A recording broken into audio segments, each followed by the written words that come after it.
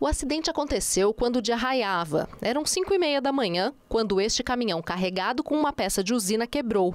Ele tinha acabado de sair de Sertãozinho e seguia pela rodovia Carlos Tonani no sentido a Jaboticabal. O destino final da viagem era Nova Andradina, no Mato Grosso. Como a peça era maior do que o caminhão, ele seguia escoltado para evitar acidentes na pista. Quando o veículo quebrou, os batedores fizeram a sinalização no acostamento. A vítima fatal foi um desses batedores, Adilson Fanelli Ibanhe, de 52 anos. Ele era de Piracicaba e estava na região a trabalho.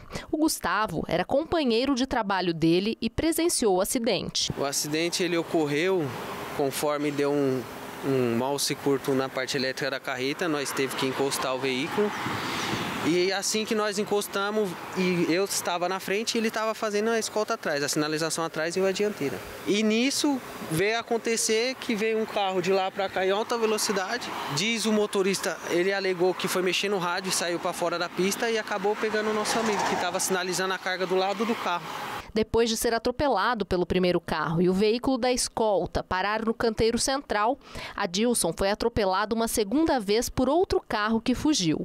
O corpo dele foi decepado. Ele estava sinalizando atrás, como nós sinaliza com a lanterna e tudo, o carro parado, giroflex aceso, sinalizando. Conforme veio o carro de lá para cá, ele também não viu, não deu nem tempo dele sair, pegou ele, a porta, e o carro bateu no corpo dele, colidiu no guarda-rei do lado esquerdo lá. Os ocupantes do carro tiveram ferimentos leves e moderados e foram socorridos para unidades de saúde na região. A perícia esteve no local. A família da vítima viria de Piracicaba para fazer o reconhecimento do corpo e tomar as medidas cabíveis. Com imagens de Antônio Damásio, Patrícia Bonelli para o programa do Léo.